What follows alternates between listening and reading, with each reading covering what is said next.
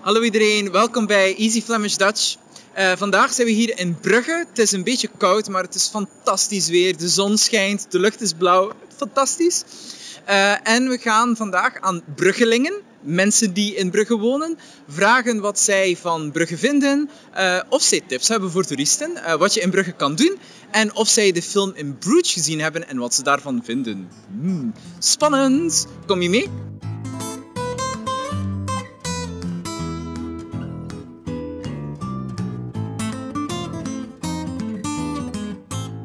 En uh, wat vindt u aan al die jaren van, van Brugge? Bent u nog altijd graag? Ik ben eigenlijk verliefd geworden op de stad. Gewoon de, allee, de cultuur en zo, de gebouwen, alles. Het heeft een, een oude vibe eigenlijk. Dus ik ben er een beetje verliefd op geworden, zeg maar. Het is mijn stad, ik ben er altijd heel content van geweest. En uh, denkt u dat u later ook nog in uh, Brugge zal blijven wonen? Ik zou heel graag in Brugge blijven wonen, ja. Heel graag. Ja, Brugge. Het is een uitzonderlijke stad met veel dingen te doen en waar ik graag. Brugge is een toffe stad. Hè? Uh, het is een mooie stad, het is een historische stad. Uh, ja. Ik kom regelmatig naar Brugge. Ik kom voor mijn werk uh, veel naar Brugge. Maar ook ja, voor shoppen te doen. de vrije tijd kom ik ook regelmatig naar Brugge. shoppen, ja, inderdaad. Het is een heel romantische stad. Romantische stad, ja. ja. Ah, ja. Ik kan Brugge mijn hart. Ja. Niet altijd, maar meestal wel. Ja. Brugge is mooi. Brugge is mooi. Ja, er is nog wel veel werk. Er is heel veel veranderd over de jaren in Brugge. Ik vind nu bijvoorbeeld wel jammer dat dit plein niet een beetje meer aangekleed is. Dat is onlangs vernieuwd. En um, ik vind het zo'n open vlakte. Vroeger stond hier een fontein die veel mooier was. Ja. En dat was, uh, ja, ik vond dat wel gezelliger. Wat voor u maakt Brugge zo speciaal? Iedereen praat altijd zo over de sfeer van Brugge en dat Brugge zo speciaal is. Kan u ja, proberen te definiëren wat Brugge zo speciaal maakt? Moeilijk. Echt moeilijk. Het is altijd een ambiance, het is altijd mensen met wie je, je, kan spreken en een keer, uh, keer leut hebben en babbelen. En, uh, ja. Ik vind dat de mensen zijn echt vriendelijk hier. Beter dan in Stenden of dan uh, in Knokken Wat is typisch voor Brugge? Um, ik denk vooral de chocoladewinkels. Uh, de vele chocoladewinkels, het mooie historische um, uh, bruggen, de gebouwen, de kerken, de kathedralen. Ik denk dat dat de, voornaamste dingen zijn. En de koetsen. Ik vind altijd als je bruggen hoort, is het altijd bier, koetsen en de gebouwen. Heel veel toeristen. Heel veel toeristen. Um, maar voor de, voor de rest eigenlijk een gezellige stad gewoon. Uh, tof om uit te gaan, leuk om mensen te leren kennen. Veel toeristen, waardoor dat je dus veel mensen leert kennen eigenlijk van de andere wereld. Allee, van de, de andere kanten van de wereld. Dus ik vind het een toffe stad. Ja. Het is gezelliger dan Gent, zeg maar. De mooie musea, de, bijvoorbeeld uh, op de Burg, de Heiligbloedkapel, de Sint-Salvatorskathedraal. En ook de rijke geschiedenis, de middeleeuwse geschiedenis, uh, die, uh, ja, die hier overal in Brugge nog te zien is, die oude gebouwen. Ja. Het Groeningen Museum, het Groethuis dat nog maar onlangs vernieuwd is. Ja, vooral dat. Hier, Balfort. Het Belfort? Ja. En dingen zoals chocolade? Ja, dat is weer commercie. Hè. Dat is weer eh, de, de handel. Hè. Natuurlijk, ja, de chocolade, bier. We hebben twee brouwerijen hier in, in Brugge, die je kan bezoeken. Dus uh, de halve maan is een brouwerij die het gemaakt heeft dat ze de bottelarij aan de andere kant van Brugge gelegd hebben. En wat gebeurt er nu? Ze hebben een pijpleiding gemaakt vanaf de brouwerij naar de bottelarij van drie kilometer lang onder de stad. Dus het bier stroomt onder bruggen. Bier stroomt onder bruggen, dat is gewoon alleen maar een uitvinding die alleen maar de Belgen kunnen verzinnen. Dat is, dat is geniaal.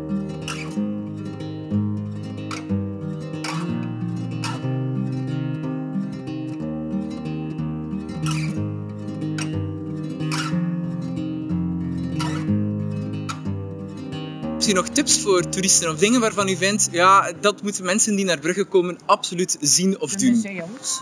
De museums. Ja, de museums. Ja, de bootjes varen. Ja, dat is ook... Uh... Koetsen. Ja, maar ik kan zelf nog nooit op de koets gezeten. Wel, wel in de bootjes. Maar, maar niet, uh... ik ga liever met de bootjes. Ja, ja. ja de bootjes. Ja, ja. ja. De markt, zeker de rand van Brugge daar met die molen. En, eh, ja, ik vind dat echt mooi. De Grutushuis, museum, verschillende museum, Oud Sint-Jan. En, ze een beetje meer tijd moeten nemen voor de stad. Meestal komen ze hier een halve dag of maximum één dag en dat is veel te weinig. Want Brugge is een stad met sfeer en eh, ja, dat voelen ze dan niet, vind ik. En hoeveel tijd denk je hebt u nodig om, om Brugge echt te leren kennen? Dag drie dagen.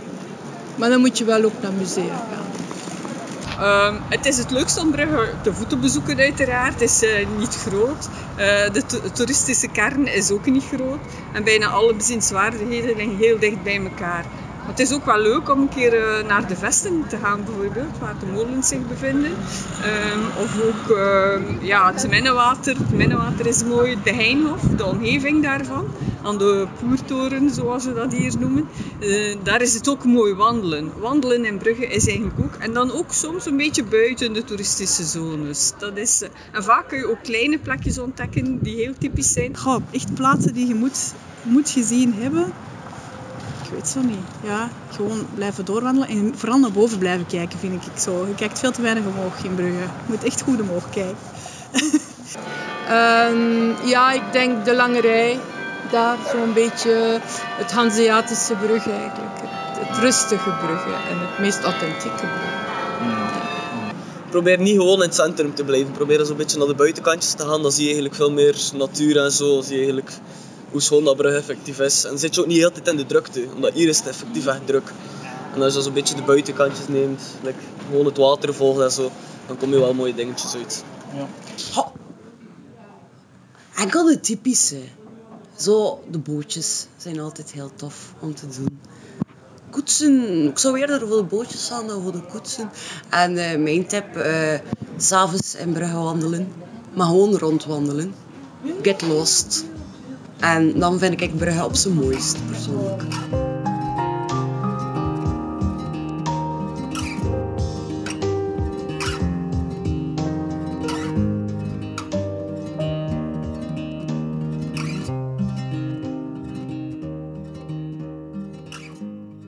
Eh, ik vind zeker en vast Belfort eh, de moeite om eens te beklimmen.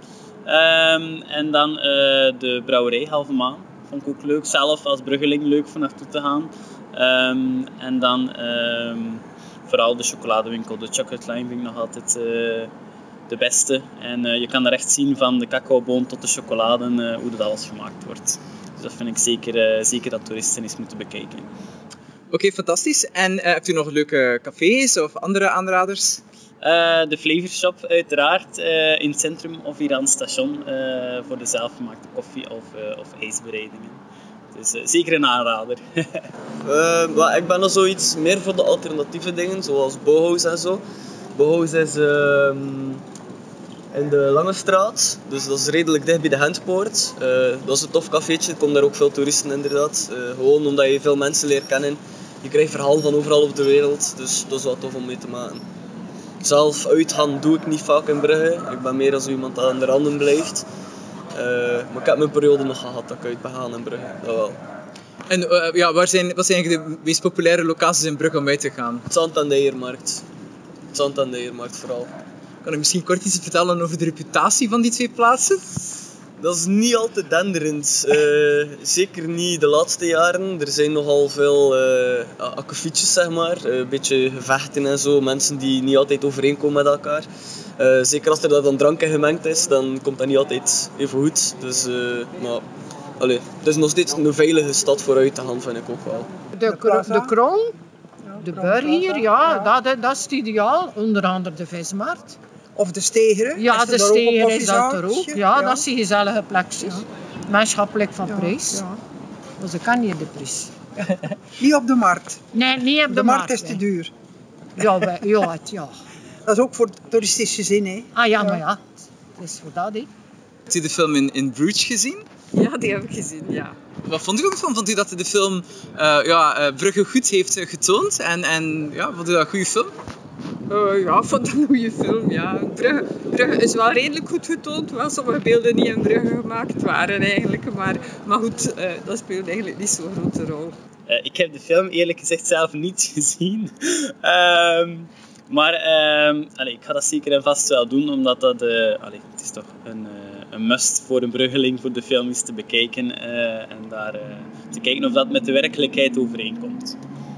Maar als je goed kijkt in de film, op bepaalde momenten, bepaalde scènes, staat er eh, niet alles op zijn plaats. Ik zeg nu wat, een, voorbeeld. Bijvoorbeeld de Hallentoren ten opzichte van de andere stond op een bepaald moment aan de andere kant. Maar ja, dat is film. Dat is, want Brugge was een beeld en, ja, sommige mensen zeggen negatief.